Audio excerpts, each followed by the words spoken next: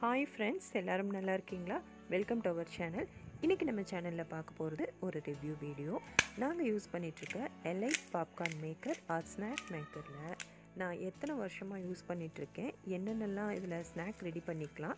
எப்படி இதை ஹேண்டில் பண்ணணும் அப்படின்னு நம்ம டீட்டெயிலாக பார்க்க போகிறோம் ஸோ தட் இந்த வீடியோவை ஸ்கிப் பண்ணாமல் ஃபுல்லாக பாருங்கள் அதுக்கு முன்னாடி நம்ம சேனல் ஜோ என்ஜாயை சப்ஸ்கிரைப் பண்ணலைன்னா சப்ஸ்கிரைப் பண்ணிவிட்டு அப்படியே பக்கத்தில் இருக்க பெல் ஐக்கானையும் கிளிக் பண்ணி வச்சுக்கோங்க. அப்போ தான் நான் அப்லோட் பண்ணுற எல்லா வீடியோஸையும் நீங்கள் மிஸ் பண்ணாமல் பார்க்கலாம். இப்போ வாங்க குயிக்காக வீடியோக்குள்ளே போகலாம்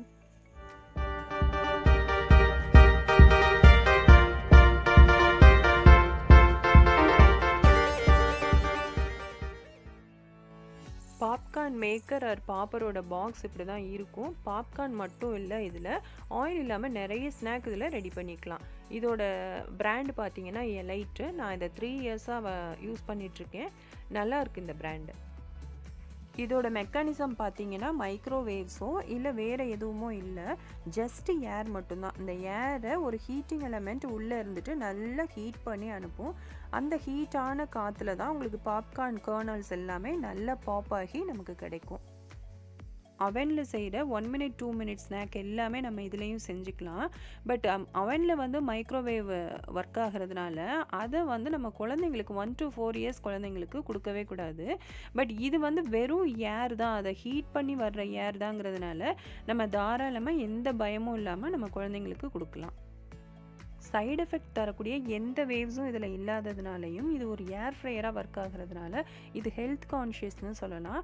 அதோட எல்லாமே இதில் ஆயிலும் கிடையாது இல்லையா? ஆயில் சேர்த்து நம்ம எதையும் செய்ய போகிறதில்ல ஸோ ஃபேட் ஃப்ரீ நிறைய ஸ்நாக்கும் இதில் ரெடி பண்ணுறதுனால இது இன்எக்ஸ்பென்சிவ் தான். உங்களுக்கு வந்துட்டு ரொம்ப காஸ்ட்லின்னெல்லாம் சொல்ல முடியாது. இது நான் ஆஃபர் ப்ரைஸில் தௌசண்ட் தௌசண்ட் டூ ஹண்ட்ரட் அந்த மாதிரி தான் வாங்கினது. ஹெல்த் கான்ஷியஸாகவும் கிடைக்குது அஃபோர்டபுள் ப்ரைஸ்லையும் கிடைக்குது. ஸோ இது நல்ல பெனிஃபிட் தானே நமக்கு. இப்போது இதில் என்னென்ன ஸ்நாக்கெல்லாம் ரெடி பண்ணலான்னு பார்க்கலாம்.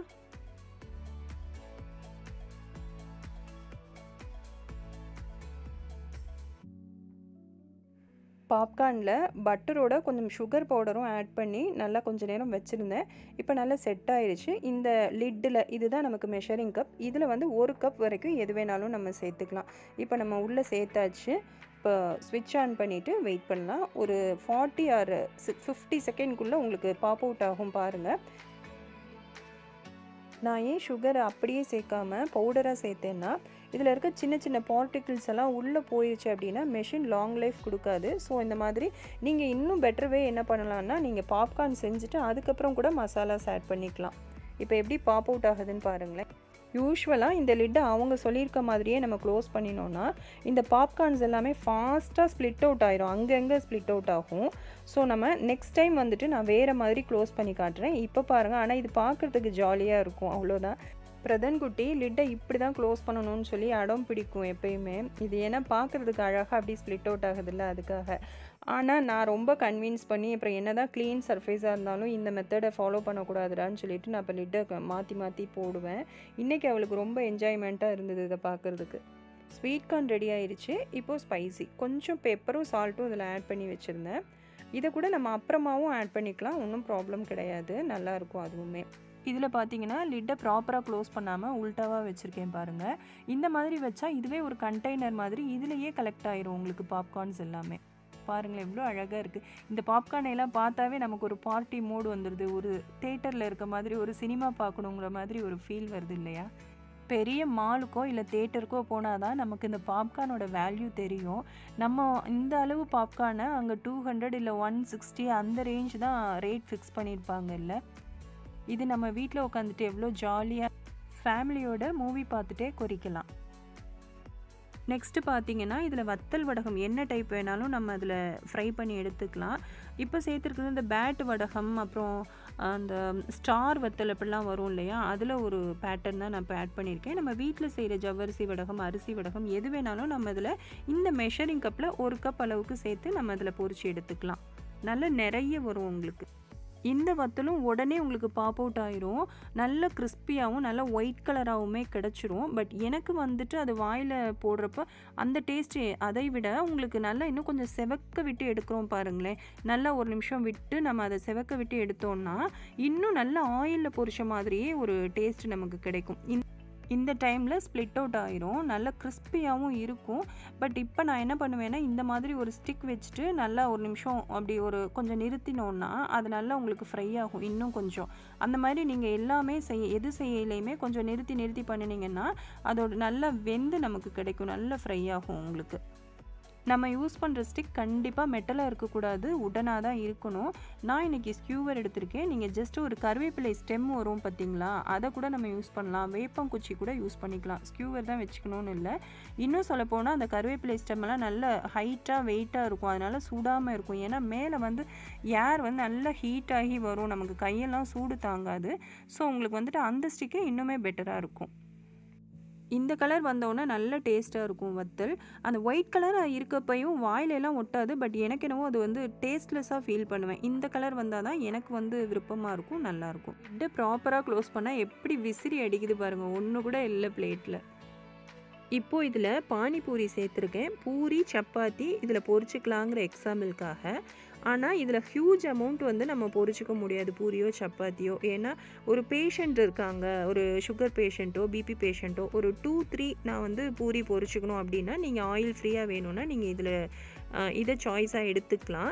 பட் ஹியூஜ் அமௌண்ட் வேணும்னா இது நமக்கு வேலை. நம்ம ஒரு அஞ்சு நிமிஷம் பிரேக் விட்டு பிரேக் விட்டு தான் நம்ம இதில் குக் பண்ண முடியும் இல்லையா? ஹீட் ஆகுதுல்ல ஓவர் ஹீட் ஆகும். அதனால் நம்ம பிரேக் விட்டு பொரிக்கிற மாதிரி இருக்கும்.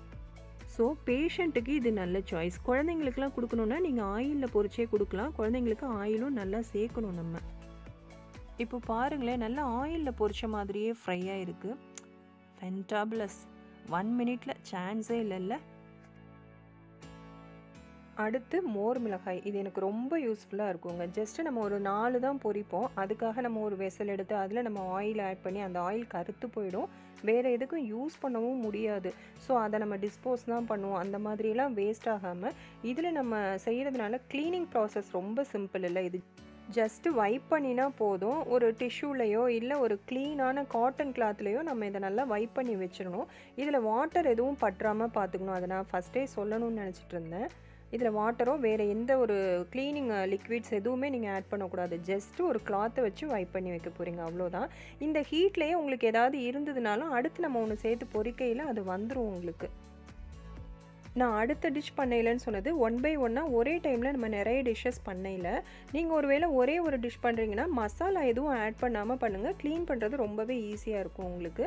நல்லா க்ளீன் பண்ணதுக்கப்புறம் நீங்கள் க்ளோஸ் பண்ணி எடுத்து வைங்க இந்த கேட்ஜெட்டை அடுத்ததாக ஹெல்தி ஸ்நாக் உப்பு கடலை இந்த உப்பு கடலை வந்து கொஞ்சம் பொரியறதுக்கு டிலே ஆகும். ஒரு த்ரீ மினிட்ஸ் ஆகும். டூ மினிட்ஸில் நீங்கள் ஆஃப் பண்ணிவிட்டு ஒரு பிரேக் விட்டுட்டு அதுக்கப்புறம் பொரிச்சு எடுத்துக்கோங்க.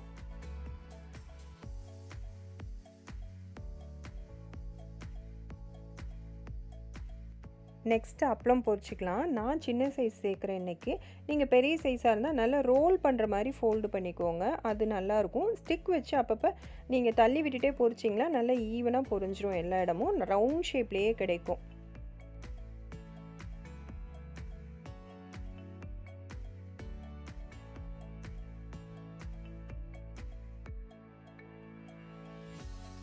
நெக்ஸ்ட்டு ப்ரெட் டோஸ்ட் பண்ணிக்கலாம். இதுக்கு நம்ம லைட்டாக ஃபோல்டு பண்ணி உள்ளேயும் வைக்கலாம். இல்லை இந்த மாதிரி ஃப்ளாட்டாக வேணும் அப்படின்னா நம்ம ஜஸ்ட்டு மேலே வச்சுட்டு அந்த ஸ்டிக்கை வச்சுட்டே இருக்கணும் மேலே. இல்லைனா அது நல்லா ரோல் ஆகிட்டே இருக்கும் இல்லையா? சர்க்குலேட் ஆகையில் வெளியில் விழுகும். அதனால் கொஞ்சம் ஸ்டிக்கை வச்சுட்டு கொஞ்சம் கண்ட்ரோல் பண்ணிக்கோங்க.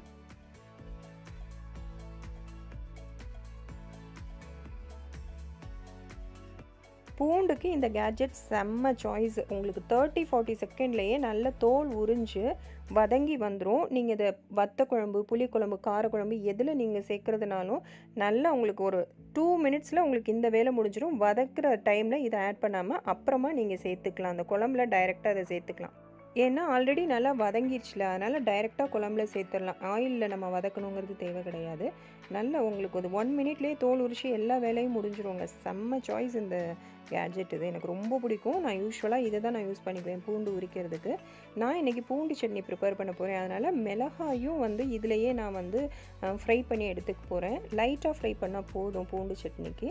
அதனால் இது ஒரு இதுவும் ஒரு தேர்ட்டி செகண்டில் எனக்கு ரெடி ஆயிடுச்சு. இப்போ இதோட கொஞ்சம் உப்பு மட்டும் சேர்த்து நான் பூண்டு சட்னி ரெடி பண்ண போகிறேன் இப்போது ப்ரெட் க்ரம்ஸ் ரெடி பண்ணுறதுக்காக சேர்த்துருக்கேன். ஜஸ்ட் அ மினிட்ல இது நமக்கு ரெடி ஆகிடும் இந்த மாதிரி ஸ்டிக் வச்சுட்டு அப்பப்போ சரி பண்ணிக்கணும்.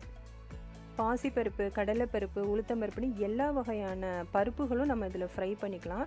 இப்போ நான் வந்துட்டு ஜவ்வரிசி சேர்த்து ஃப்ரை பண்ண போகிறேன் இது ஆக்சுவலாக பாயசம் வைக்கிறதுக்கெலாம் நல்லாவே யூஸாக இருக்கும். நம்ம வந்துட்டு பாயசத்துக்கெலாம் ஒரு சிக்ஸ் ஹவர்ஸ் ஊற வைப்போம். அப்படி இல்லைன்னா நம்ம ஸ்டவ்லையும் இதே போல் பொறிச்சுப்போம் ஆனால் நம்ம ஒரு பார்ட்டியோ இல்லை ஒரு ஃபீஸ்டோ ரெடி பண்ணுறோம் அப்படின்னா அந்த டைமில் நமக்கு ஸ்டவ் வந்து ஃப்ரீயாக இருக்காது. ஆனால் நம்ம ஒரு ரெண்டு நிமிஷம் ஃப்ரீயாக இருப்போம். ஏன்னா சாம்பார் ஒன்றில் கொதிக்கும் பொரியல் இருக்கும் வறுவல் இருக்கும். ஒரு ஒரு அடுப்புலையும் ஒன்று ஒன்று வச்சுருப்போம். ஸோ அந்த டைமில் நம்ம இந்த டை இங்கே வந்துட்டு இதை நம்ம ப்ரிப்பேர் பண்ணி வச்சிட்டோன்னா ரொம்ப குயிக்காகவே முடிஞ்சிடும் உங்களோட குக்கிங் நீங்கள் எத்தனை பேருக்கு சமைச்சாலும் ஒரு ஜஸ்ட் ஒரு ஃபார்ட்டி ஃபைவ் மினிட்ஸில் நீங்கள் குக்கிங்கை கம்ப்ளீட் பண்ணிடலாம் சிங்கிள் பர்சனாகவே அதுபோல் எனக்கு கருவேப்பிலை பொடிக்கும் இது நல்லாவே யூஸ் ஆகும். ஏன்னா கருவேப்பிலையை நம்ம வந்து லாங் ப்ராசஸாக அதை ஒரு நிழலில் காய வச்சுட்டு அது மேலே அழுக்கெல்லாம் படாமல் இருக்கணும் தூசி படாமல் இருக்கணும் அது லைட்டாக வேறு ஏதாவது ஒரு க்ளீன் கிளாத் வச்சு மூடி வைப்போம். அது ரொம்ப நாள் ஆகும் காயறதுக்கு. நம்ம இந்த மாதிரி டக்குன்னு நம்ம ஏர் ஃப்ரை பண்ணிட்டோம்னா சீக்கிரமாகவே உடனேவே நமக்கு வந்து கருவேப்பிலை பொடி ரெடி ஆயிரும். அந்த மாதிரி நிறைய விஷயங்கள் நம்ம இதில் நல்லா யூஸ் பண்ணிக்கலாம். ஸோ எனக்கு வந்து இது வேர்த்தாக தான் தோணுது. பட் உங்களுக்கு எப்படி நீங்கள் ஃபீல் பண்ணுறீங்கன்ட்டு எனக்கு கமெண்ட் லீவ் பண்ணுங்கள் இந்த வீடியோ உங்களுக்கு பிடிச்சிருந்ததுன்னா யூஸ்ஃபுல்லாக இருந்ததுன்னா உங்கள் ஃப்ரெண்ட்ஸ் அண்ட் ஃபேமிலிஸ் கூட ஷேர் பண்ணிவிட்டு லைக் பண்ணிக்கோங்க. Thank you